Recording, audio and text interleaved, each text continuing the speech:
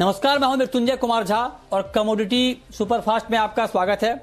और सबसे पहले आपको बताते हैं कि इस वक्त कमोडिटी मार्केट में कहाँ पर एक्शन है। पहली खबर क्रूड को लेकर ही है, क्योंकि ब्रेंड क्रूड का भाव नौ महीने की ऊंचाई पर पहुँचा है और 50 के ऊपर पहुँचा है। हालाँकि उसके बाद थोड़ी कमज़ोरी आई है और उसका इम्पैक्ट एमसीएक्स पर भी दिखा है और यहाँ पर भी गिरावट आई है, सवा परसेंट तक की।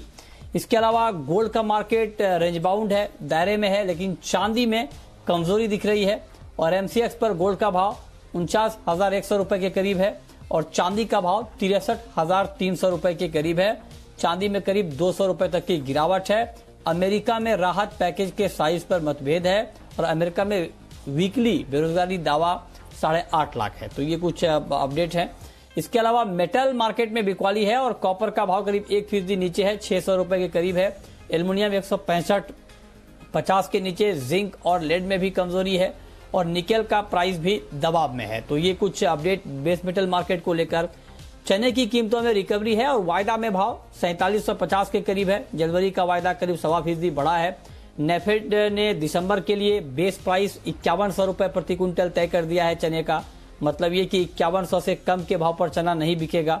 उसका इम्पैक्ट प्राइस के ऊपर दिख रहा है पॉजिटिव इम्पैक्ट दिख रहा है। इसके अलावा तेल और तिलहन वायदा में प्रॉफिट बुकिंग है मुनाफा वसूली है सरसों करीब ढाई फ़ीसदी नीचे है पाँच हज़ार पाँच सौ पचास के नीचे। सोयाबीन सवा फ़ीसदी टूटा है सोया तेल और क्रूड पाम तेल में भी बिकवाली दिख रही है। तो ये पाँच खबरें हैं इस वक्त की लेकिन इन पाँच खबरों के बाद अब हम बात करेंगे पाँच ट्रेडिंग कॉल्स की। और ये बताने के लिए हमारे साथ हैं अनुज गुप्ता एंजल कमोडिटी के। अनुज जी बहुत बहुत स्वागत है आपका। आ, हम सबसे पहले बात करेंगे सिल्वर की चांदी की। क्या चांदी में आपको लगता है कि अभी खरीदने का मौका है, खरीदना चाहिए? तिरसठ हज़ार के आसपास क्या आपको बाइंग का लेवल दिख रहा है चांदी में? मृत्युंजय जी गुड आफ्टरनून अगर हम देखें तो सिल्वर में एक रिकवरी यहाँ पर देखने को मिल सकती है। तिरसठ हज़ार के आसपास मुझे लगता है कि खरीदारी करना चाहिए। बासठ तीन का स्टॉप लॉस लगाए टारगेट चौसठ हज़ार तक देखने को मिल सकता है। जिस तरीके से हमने बेस मेटल में रैली देखी है तो मुझे लगता है कि बेस मेटल काउंटर जो है वो काफ़ी पॉजिटिव लग रहा है। तो सिल्वर भी एक तरीके से बेस मेटल का पार्ट है तो इसलिए हमने सिल्वर को यहाँ पे बाई के लिए चुना है। अच्छा तो इसलिए आपको लगता है कि चांदी में अभी बाइंग का मौका है, चांदी खरीदनी चाहिए। चलिए इसके अलावा अनुज जी कॉपर पर क्या व्यू है आपका? आज हफ़्ते का आखिरी कारोबारी दिन है क्या कॉपर में आज आज के लिए, इंट्राडे के लिए बाइंग करने का मौका है क्या?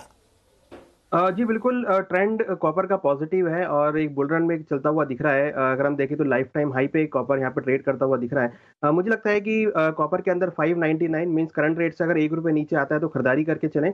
टॉप लॉस 594 का लगाएँ, टारगेट 606 तक देखने को मिल सकता है। तो कमोडिटी ट्रेंडिंग में है बाइंग साइड में है। हमें लगता है कि यहाँ पर भी बाय का ट्रेड लेना चाहिए। ठीक है। और निकल में भी बाइंग की जाए? बिल्कुल निकल भी देखे तो तेरह सौ के लेवल्स यहाँ देखने को मिले हैं। मुझे लगता है कि यहाँ पे काफ़ी अच्छा ब्रेकआउट हुआ है। वॉल्यूम्स यहाँ पे बढ़े हैं। तो निकल के अंदर भी बाय खरीदारी करना चाहिए 1290 के आसपास। टॉप लॉस बारह का लगाएँ टारगेट करीबन 1320 तक देखने को मिल सकता है। तो निकल और कॉपर दोनों में बाय कर सकते हैं। अच्छा क्रूड पर आपका व्यू क्या होगा? क्योंकि क्रूड का मार्केट आप देखिए कि ब्रेंड का भाव नौ महीने की ऊंचाई पर पहुँचा। हालाँकि उसके बाद थोड़ी कमज़ोरी दिख रही है। एमसीएक्स पर भी कच्चा तेल अब नीचे आया है। क्या इस गिरावट को एक बाइंग के मौके के तौर पर देखा जाए? क्या ट्रेड लिया जाए? देखिए क्रूड में अगर ट्रेंड देखें तो बाय एंड की स्ट्रेटेजी यहाँ पर बनती है। क्योंकि अगर हम देखें तो कंटिन्यूसली नए हाइस बना रहा है ईयर जो इस हर साल के जो हाइज हैं, वो लेवल यहाँ बनते हुए दिख रहे हैं। मुझे लगता है कि अपसाइड मोमेंटम क्रूड में कंटिन्यू रहेगा। तो जो भी डिप मिलता है या जो भी करेक्शन आया है, वहाँ पर खरीदारी करके चलें। चौंतीस सौ के आसपास खरीदारी करें। मीन्स करंट रेट से करीबन दस से पंद्रह रुपये भाव नीचे आए तो खरीदारी कर सकते हैं। तो प्लस तैंतीस सौ पचास का रहेगा। टारगेट करीबन पैंतीस सौ रुपये तक हो सकता है। ओके, ठीक है। इसके अलावा, अनुज आपका व्यू मस्टर्ड के ऊपर क्या होगा? मस्टर्ड में गिरावट बढ़ रही है। आ, क्या अभी और गिरावट की गुंजाइश है सरसों में?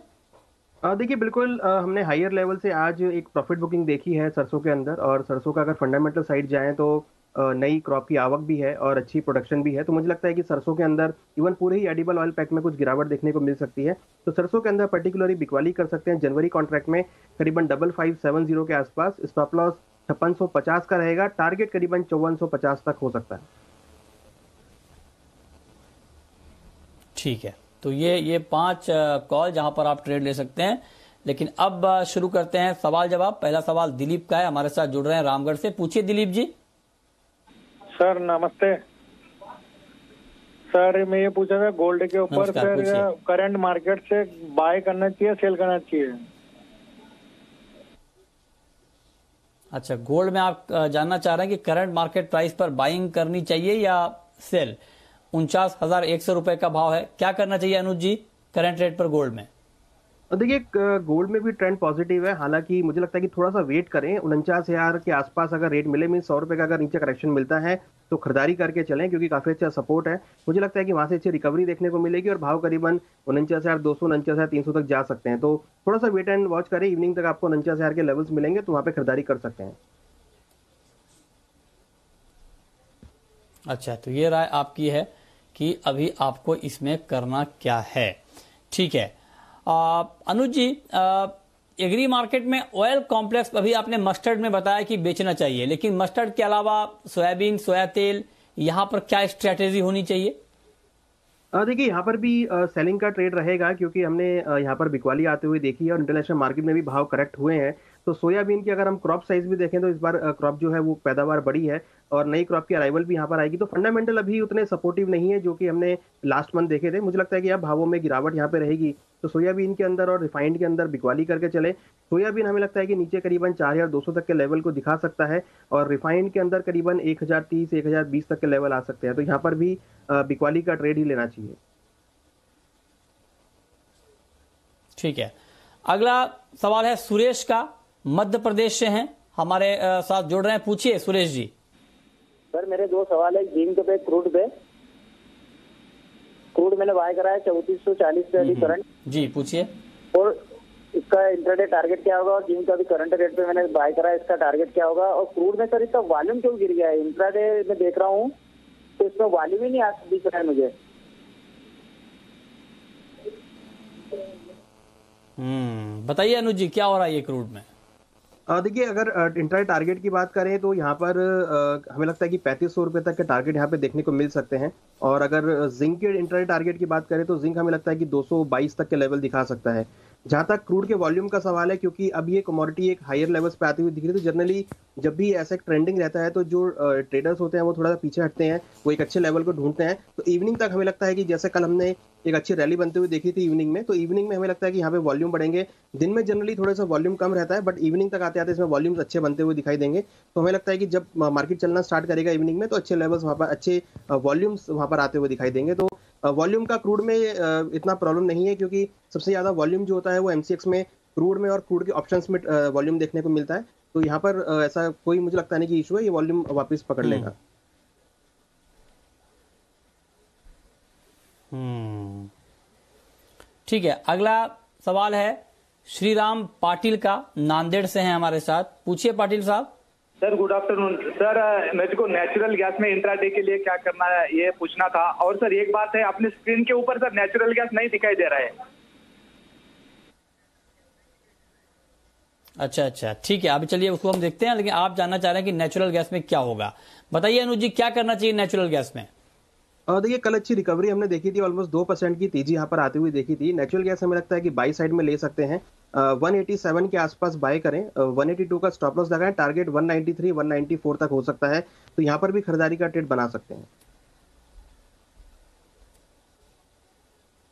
ठीक है तो ये राय है आपकी नेचुरल गैस के ऊपर, इस पर आप नज़र बनाकर चलिए, और काफ़ी वोलेटाइल काउंटर है, जो भी ट्रेड लें नेचुरल गैस में काफ़ी सावधानी से लें, और स्टॉप लॉस के बिना ट्रेड ना लें, क्योंकि बहुत ज़्यादा उतार चढ़ाव इस काउंटर में हम आमतौर पर देखते हैं।